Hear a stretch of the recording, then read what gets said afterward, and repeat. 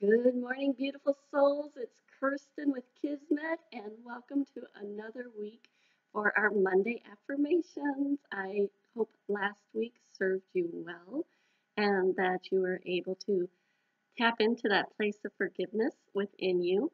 This week, we have another fabulous affirmation that's been given to me. It is I trust my intuition to lead me.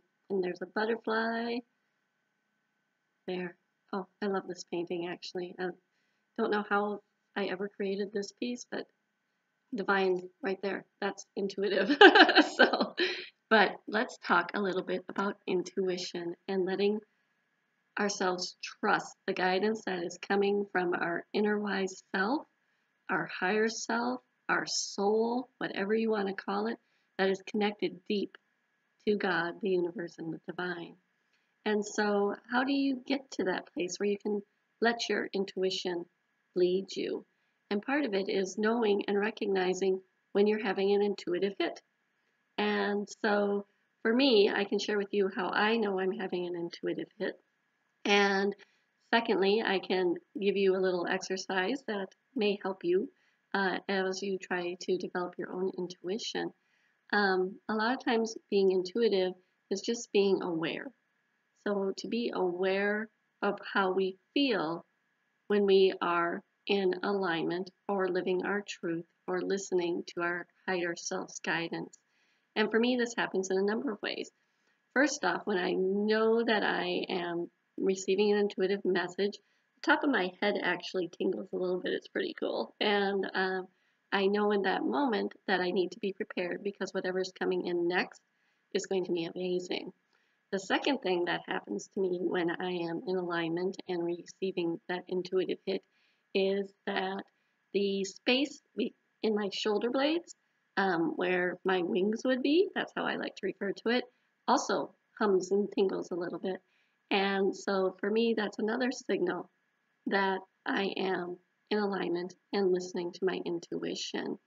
Um, for another other people, they just get this sense of knowing like it permeates through your bones, you know, and you just feel like this is it, this is the knowing. And one of the ways that you can help yourself in becoming more open and aware of when your intuition is talking to you is through simple breathing. So if you are looking to uh, make a decision and you don't know what direction you want to go in, a simple breathing exercise can truly help you. Just breathing in through your nose for a count of three, um, and breathing out for like a count of six. Always having the inhale be about half what the exhale is, and doing this a number of times with your eyes closed, and being able to release stress and tension and get into that place. And then ask yourself the question that you want to ask. And you can ask yourself, um, Am I supposed to take this new job?